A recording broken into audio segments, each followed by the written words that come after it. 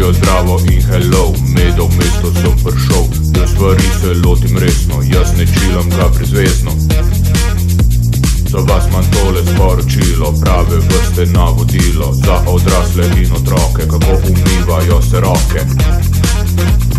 Roke s toplo vodo zmočiš. Malo mila gori počiš.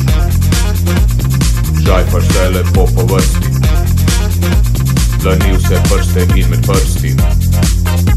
Tudi hrbtno stran je treba umit, pa za pesti ne zgrešit. Dokaj časa roke peniš, koliko pa tako oceniš Roke si miliš 15 sekund, kar je ravno toliko časa, da enkrat zapoješ pesmico vse najboljše. Dobro spereš, dobro zbrišeš, to si za uho zapišeš. In paziš, k vodo greš zapret Da rok si ne umažeš spet.